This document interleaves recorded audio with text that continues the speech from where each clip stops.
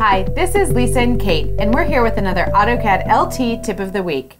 Now, everyone knows how to erase objects and how you use the undo command, but what if you realize you want to go back to something you erased a while ago?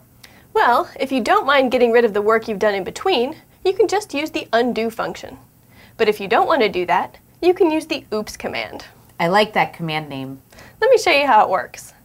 Let's say I draw a circle, then draw some lines, erase the circle, and move the lines around.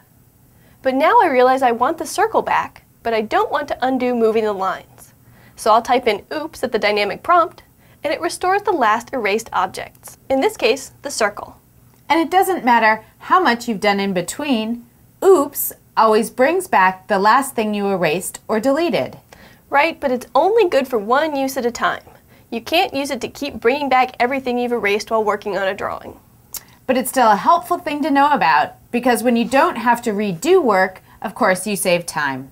For more tips like this, be sure to check back with us every week at the AutoCAD Exchange.